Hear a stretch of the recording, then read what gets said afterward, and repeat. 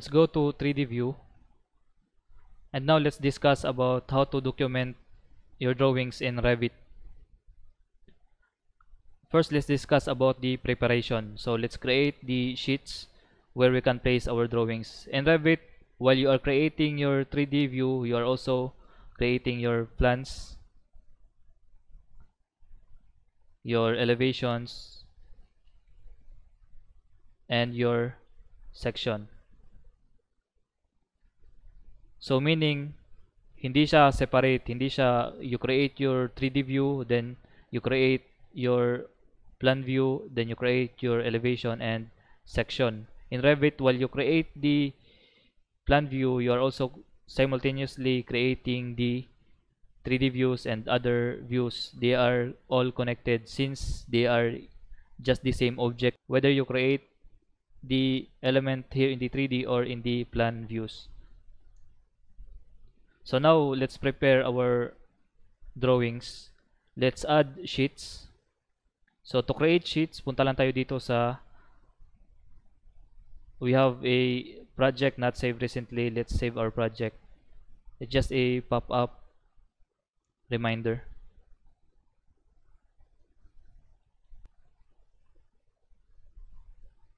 It will load a while depending on the capacity of your processors. Now our project is saved. Let's go to the project browser. Let's create sheets. In this tutorial we are not creating sheets from the scratch. We are we are using sheets provided by Autodesk. I will create other, another video to create our custom sheets.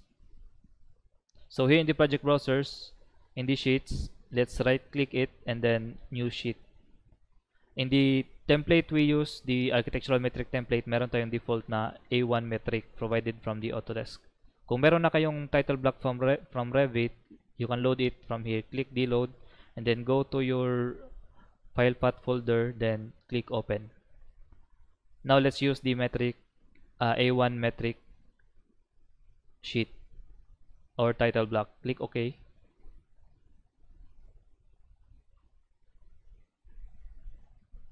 And then our sheet is open.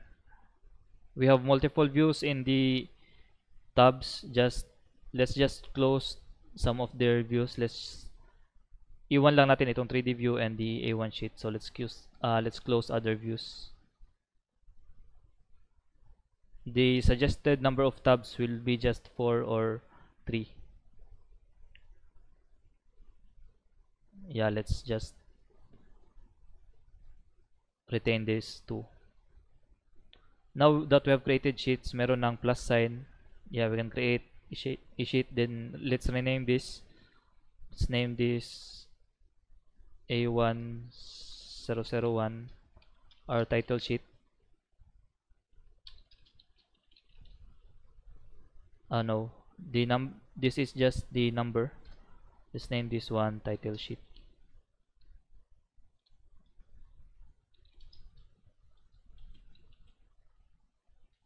okay. Then let's add another sheet. A1 metric okay. Let's name this a101 then uh, let's number this a101 then name this site development plan. Okay. Then let's add new sheet okay. Then let's name it. Just right click uh, click right click and this will appear. A102 let's name this. Floor plans or plans. Okay. And then let's add again. Click. Okay then let's name this our elevations.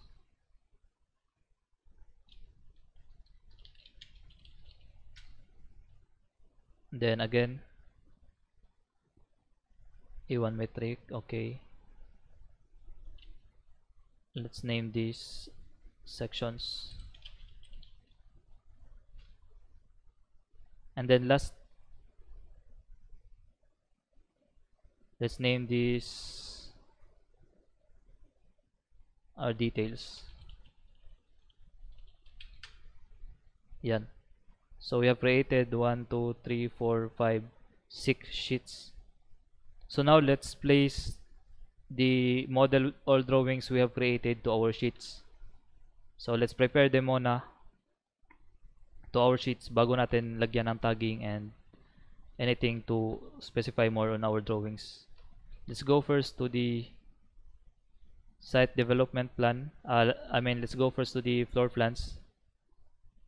Then go to the here's here is the sheets and here is the views. In AutoCAD this is the layout and in Revit this is the model view. But in Revit you can have multiple model views unlike AutoCAD na isa lang yung model views niya. Okay? And in Revit you don't have to create viewport. Automatic na every view meron na siyang concept na concept just like viewport pero ang tawag sa Revit is crop region.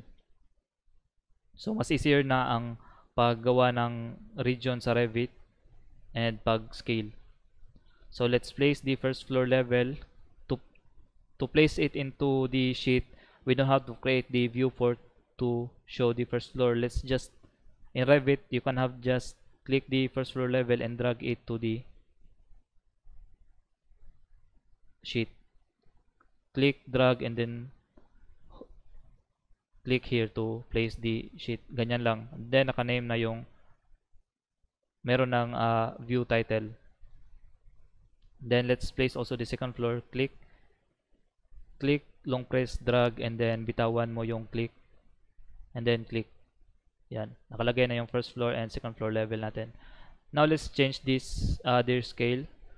Ang pag-change ng scale dito sa Revit just double click the view on the sheets or you can go double click the first floor and change the scale right here.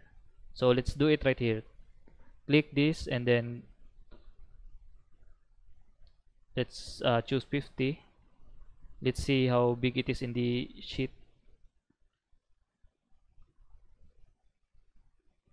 Can we so tingnan natin kung kasya ba silang dalawa then yung process na ginawa ko nito is pumunta tayo sa dito sa view. But here I'll just rescale it right here directly in the sheet. So double click. And then here you can also see the scale. So let's choose the 50 then double click or right click anywhere and then deactivate view. Yan. So makita mo dalawa na silang sa plan. So let's arrange them so makita mo mayroon siyang alignment tool. Uh, I mean alignment from the Revit. You'll know that they are aligned.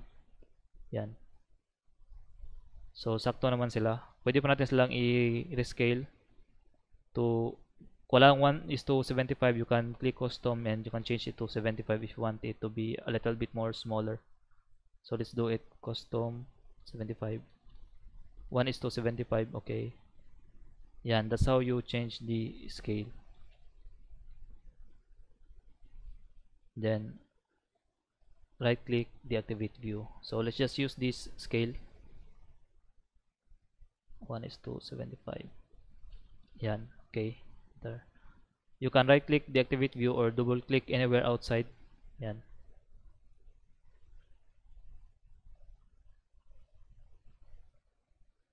Let's align them. Then I want to copy these grid lines to here in the second floor. Double click click control click then click the copy to clipboard. Let's click anywhere around then double click then let's place it go to modify place align to current view. Yan.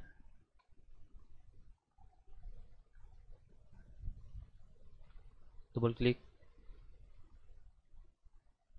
Hindi siya naka, uh, naka dimension dito. So click and then click the edit witness line and click the grid line. Yan skip. Yan. We can adjust them to suit the drawing para mas maging malinis. Pero for now let's just do it like this. You can add a total dimension. Yan nalagay na natin yung view natin. To move this view, pag minove mo itong view, mamove din yung title. But if you want to move just just the title, skip muna and just click this and then you can drag it anywhere. So also we can change the name.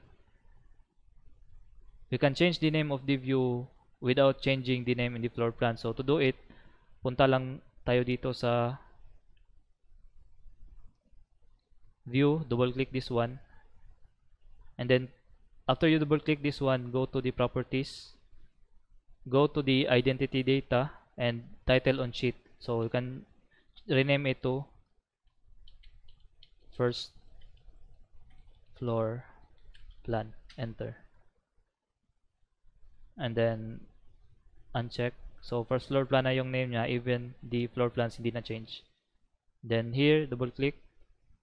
Then let's go to the properties. Under identity data, go to title sheet. Second floor plan. Enter.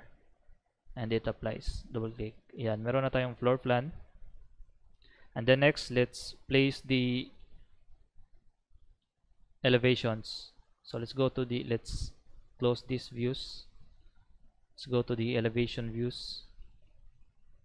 And we have here the elevation, front elevation. Yeah, le- let's rescale it, double click. Choose 50. Yan. And then let's move the levels. Click. Then make sure na naka-align sila para isang beses lang silang i-move. Yan. Dito din.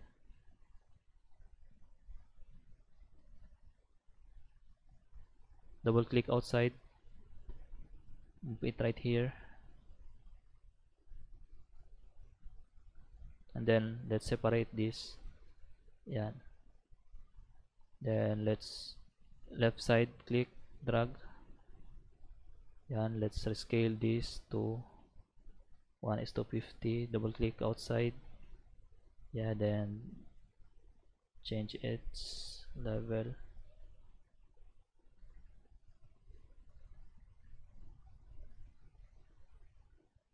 Click outside. Then let's align these two. Yan, pag nakita mo yung line dyan, align na yan sila. Yan, you can also use the arrow key in your keyboard to adjust. Yan. To adjust this line, you can't adjust it by clicking the view itself. You just have to cl- click the view here in the drawing and then mag-reflect itong grip. Just move this. Yan. Click this and then align it there. Then click the view and change it. Then double click. Let's move this uh, symbol of the section right here. Yan. Skip. Uh, double click outside. Uh, let's just not show these sections. Press VV twice, then go to the annotate categories, and then go to elevations and check. Okay. Ah, sections pala to. VV, annotate, sections. Yeah, click and click. Wala na yung sections. Then, pabalik-balik na ito. Punta na tayo sa rear. Let's place the rear here.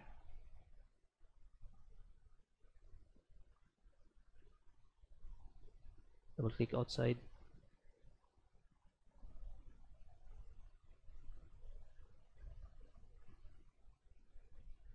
Make sure align sila.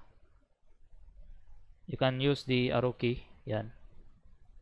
Then let's move this level. Click the level line. Uh, let's just eyeball it to align this level. Yan. Yan. Click outside. Then the right elevation. Then double click. 50. Double click outside. Just that. And then arrow key to move. Then let's move this view names Yan. You'll see nag-align sila. Makikita mo yung temporary lines yan. Then let's move this section. Ah no, let's hide this. VV, rotate, S, section uncheck. Okay. Dito din unhide natin kasi gagawa tayo ng longitudinal section. VV, categories, go to S, press S in the keyboard para diretso na siyang punta doon. Uncheck this section and then here, click sa labas, VV, click, go to section, okay. Yan, click sa labas. Medyo nagkapatong sila but I have discussed how to do it in the I think in the second part uh, the part 2 of this two story house modeling tutorial. Now let's place the sections. By the way, let's go back to this first floor. I have just created the transverse or cross section. Ah, nasa ceiling tayo. Ah, click Punta tayo sa first floor natin. Nagawa natin yung transverse or cross section. Gawa tayo ng new section for our elevation. So let's place it right here. To there. Then skip twice. Then I want to see this there. So I click this. Then click this. Ito yung para mag-flip siya to the other side. Click. Yan, nag-flip na siya to the other side. And to make this you know not this di directional line click this Z button ito yung segment. Then you can move it up right here and then here. Then ito this one also. Click. Yeah and then you can just move it right here. The one you see in the view is this one in the elevation. Huwag nyo lang yung i-move para hindi mag-move yung mga nasa elevation natin itong mga views nya So, ito lang symbol niya. Yan. Mamove yung symbol pero hindi maapektuhan yung crop region mo which is the one who controls the view natin. Yan. Uh, let's just use, uh, yeah, let's just put it right here. Yan. As you can see, wala pa siyang number kasi hindi pa natin siya nalalagay sa sheet. Pero once nalagay natin siya sa sheet, magre-reflect na yung number niya dito. So let's go to the let's X the elevation sheet. Let's go to the section sheet. Yan. Double click. Then here in the section, yan, ito nagawa tayo. Let's go here. So let's click this section 1, click, then drag. Then click right here. Ito yung transverse section natin double click then let's change its scale to 50 yan. Click outside. Uh, click muna natin to. Click this one and then yan. Then let's move uh, let's uncheck. It kung meron kayo nakikita na boundary ito yan silang dito sa first floor. Ito yan sila. So just move this not this one As you can see, meron na tayong numbers which is the section number 1 and then the number of sheet which is this one. Yan, automatic na siyang mag-update yung number. So, to hide this region, kung makikita mo ito, just click this under the view control bar, click this hide crop region. Yan. Double click outside, then let's move this view right here and then move this right here. The section 1, let's name this, right click, cross section enter. And then of course this is the methodinal section enter. And then let's place it also right here. Click ok. So as you can see skip ko muna pala. Wala siyang number. Ito yung longitudinal section natin. So if I place the longitudinal section here to here then click. Mag-update na yung number niya. Ito yung 2 tapos ito siya dito. Right? So, double click to inside and change the scale to 1 is to 50. Yeah, and then let's natabunan yung roof natin kaya let's move this to there and then here medyo lapit natin and then ito uh, ang grids medyo itaas natin then let's lower the section symbol let's this right here and then let's click this segment. Then let's uncheck the crop region. Double click outside to reposition the section. Yan. So now we have the elevations and sections. Let's go to the de detail.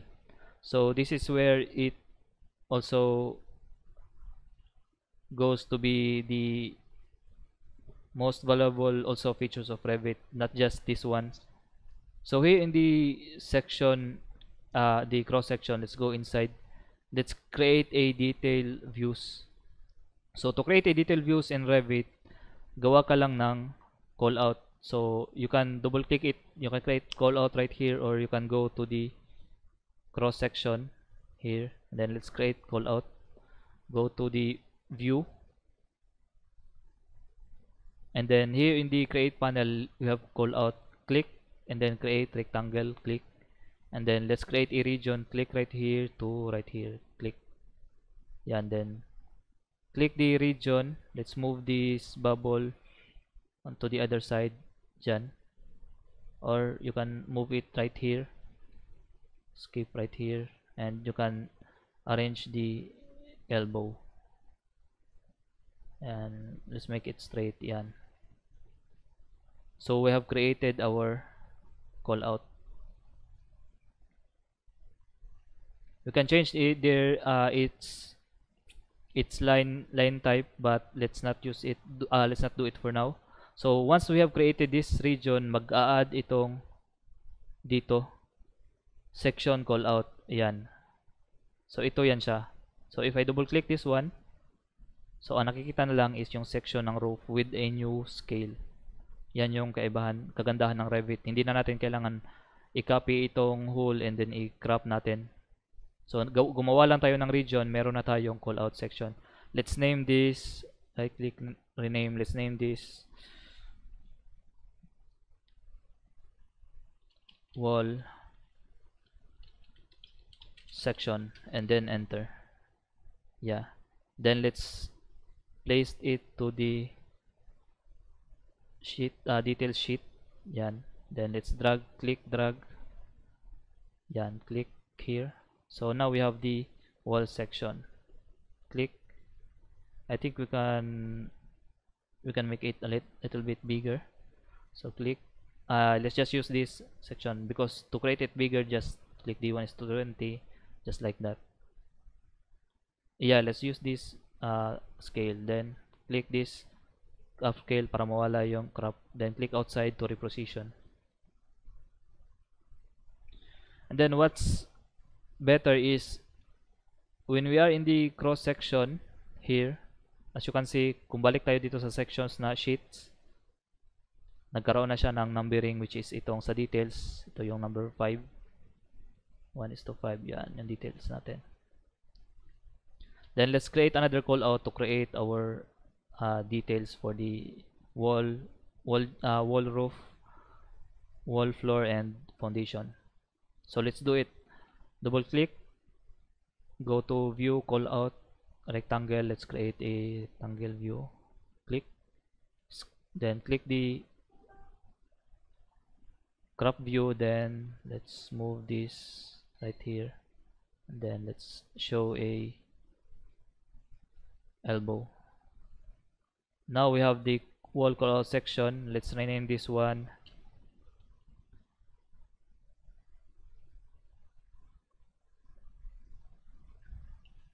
Typical wall roof connection. Enter. And let's go back to the double click. Let's go back to the yeah here. Let's drag this typical wall roof connection here. Click OK as you can see mas malaki na siya. So click. We can adjust the scale. Is to 10 you can use 1 is to 20 so parang dito siya. Yeah let's use this 1 is to 10 kung magkasya pa ba ito. So click. Then crop region. I mean on crop region mas paliitin natin. Hanggang dyan Dyan. And then let's move it here. And let's remove the level. Go to VV. And the keyboard, go to annotation, find the levels. and uncheck. Okay. And then crop region, change it. Click. and place it in the upper side here. Or here. Para dito yung annotations natin or dito. So sa gitna na lang. And let's move this. We can edit this one but let's not use it do it for now.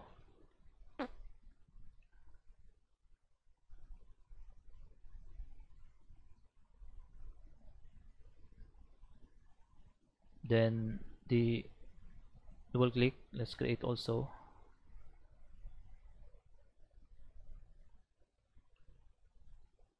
rectangle click. Then it will add new section callout click. Smooth the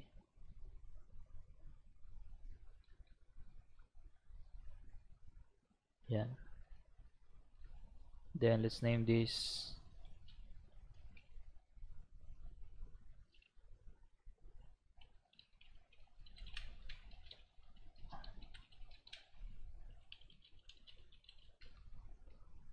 then double click outside then drag it right here. Yan. Let's just uh, paliitin na lang natin itong scale nito. So 25 yan.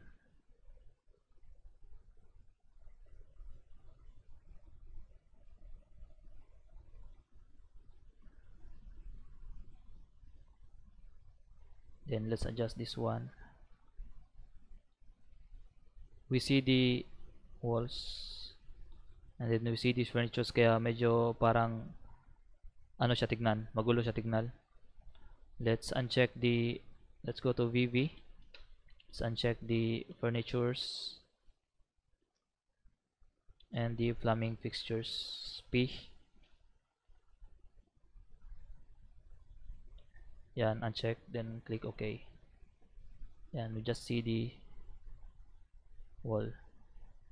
Yung wall uh, from here naka nakalitaw siya in 300 so let's 0 yan.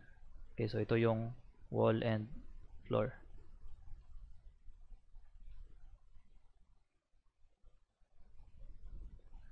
Then let's adjust the grids.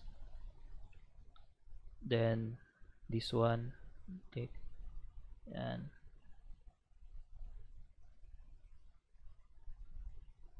oops let's move this down para magkasya yung details natin. You can decide on your own scale.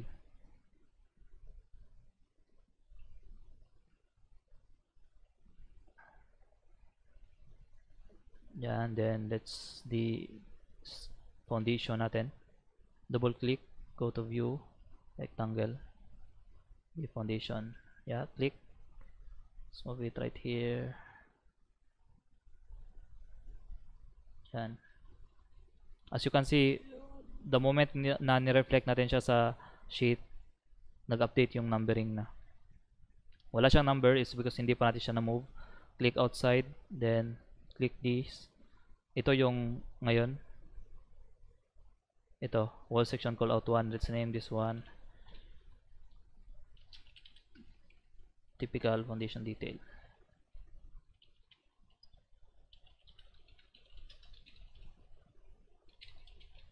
Enter. Then drag it right here. Click yan. Double click let's change this to ano nga ba tong scale na ginamit natin?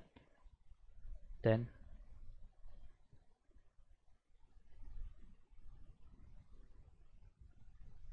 yan. So hindi dumiretso yung walls natin. Wala tayong uh, FTB or uh, wall footing. It's because um, let's do it in the architectural uh, beginners course. For now let's just use this one.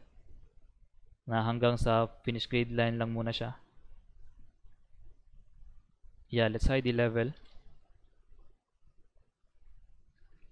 VV press lang mo lang yung VV sa keyboard. Let's go to level L. Check okay. Yan, let's just retain the grids. Yan. Then remove this one. Then click double click outside. Then move this one. We can edit this one, but not not not now. Let's not do it right now. Then click. Yan. So from here you can we can tag our we can tag or we can you know you can we can create additional details so but for now let's use the preparation. Actually parang nag-draw na din tayo nito. Let's remove the levels here. VV lang yan. Then uncheck. Okay. And what I want to discuss also is kung makita mo naka one line type lang siya. It's because by default Revit hides the the line weights. Unlike AutoCAD na kailangan nating mag-plot para makita yung line weights, in Revit, automatic na makita natin yung line weight naka-reflect sa drawing natin. That's why white yung background ng Revit. So to do that, let's click this. Yan yung thin lines. Ang command is TL. Click. As you can see, nakita mo, meron na siyang line weights. No, line weights na section natin. You can also see it around here, yan. Meron siyang line weights. Yan. So ayan, meron na tayong floor plans, elevation section, and details. Let's create our site development plan. Excuse. The site development plan is just, uh, you know, just like first floor. We can use this site right here.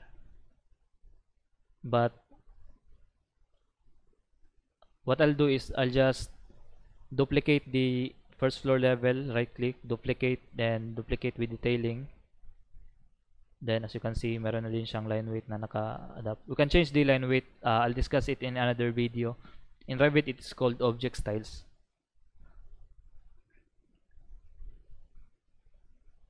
Yeah then let's change this name into site development plan. Cl right click rename site development and plan. Okay enter. And then uh, it is just the save reminder let's save our project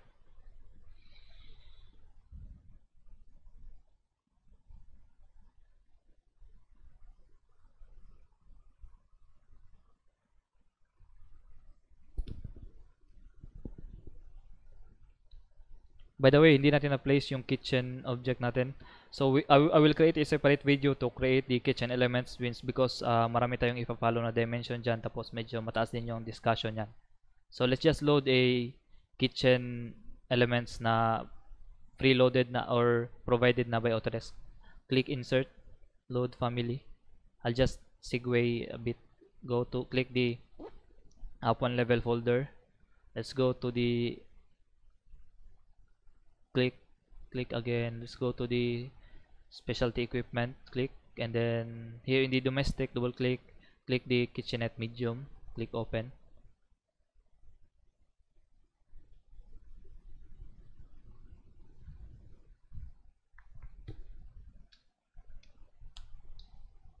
Then let's place it go to architecture component place component.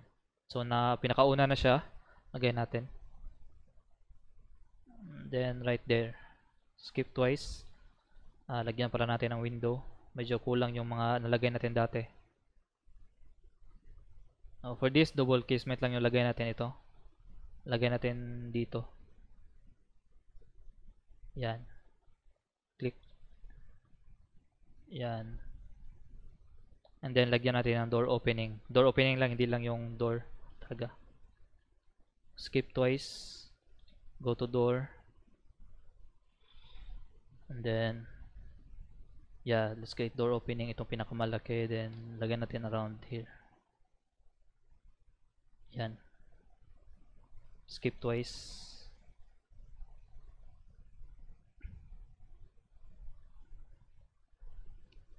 Yan site development plan. So it will also reflect on the first floor plan. As you can see same lang sila. But in the site development plan sana yung sa ito Hide these elements.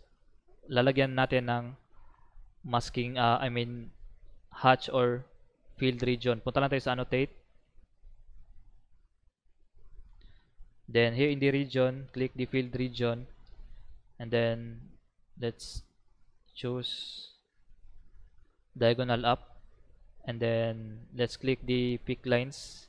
Tapos click natin dito, dito, dito. Make sure na mag abot yung dalawang lines. And dito, dito, and then dito. Yan, make sure mag-abot sila. So now, naka-close loop na yan. So let's click, ano, before we click check, skip muna tayo. Skip, skip. And then let's select these lines. Pwede na tayong mag-window since sila lang naman yung masiselect dyan. Yan, window select natin. And then let's change the lines to wide lines. Then click check. Yan.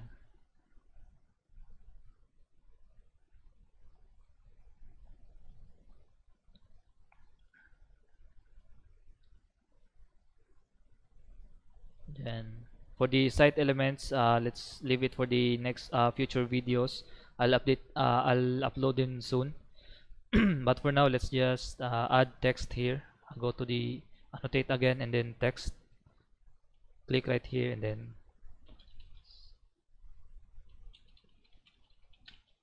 yan. Click enter. Now to to apply pala click outside yan.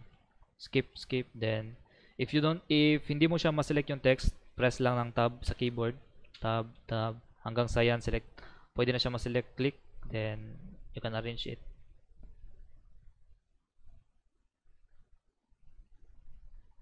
gawin natin yung center. Yan gawin natin ganyan. Click. Yan. We can clean it but for now let's just use this one. X then go to site development plan.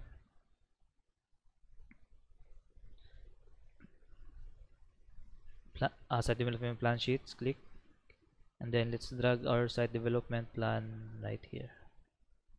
Yan we can change its scale yan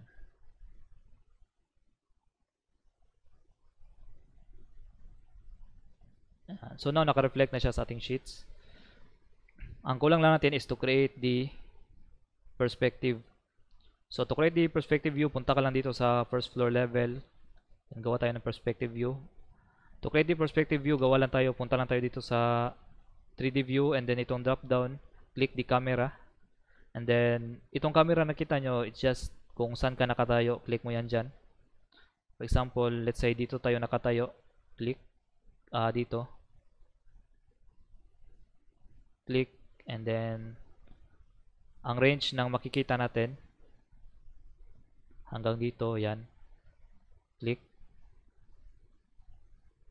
Then it will generate a perspective view. Yan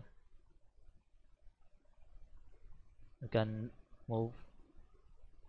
Yan. And system colors? Yan. Just name this perspective 1 enter. Uh, let's create another perspective. This X. Let's create another camera. Mm, dito na naman. Click then it will generate then yan.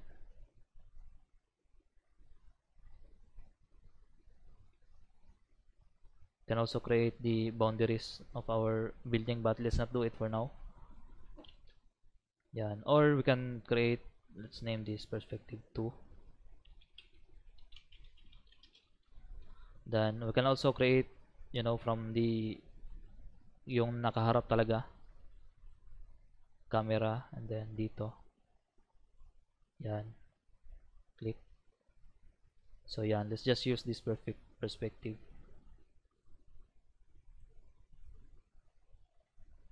mas gaganda na ito once na na-model na din yung boundaries, yung gate.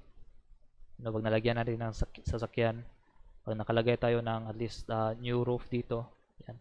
But let's not do it. At least alam nyo na kung paano itong process nito. Yan. And then, let's click. Pangalan itong perspective lang.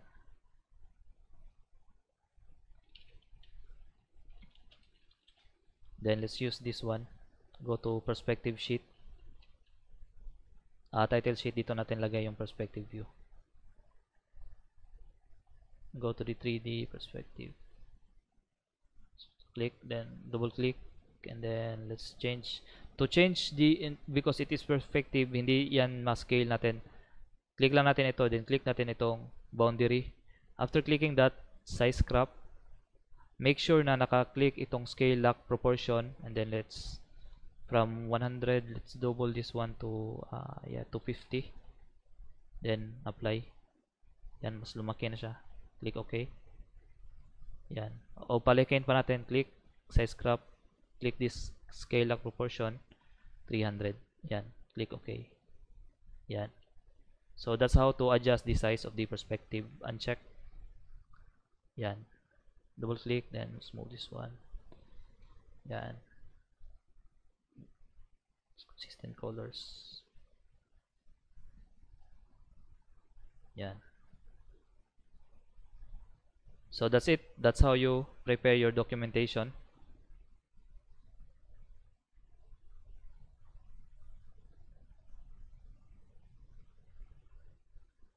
so this is the five sheets that we have created. Elevations and then the oops lumagpas yung grids. Yan baba natin. Then sections. Yan. And then the details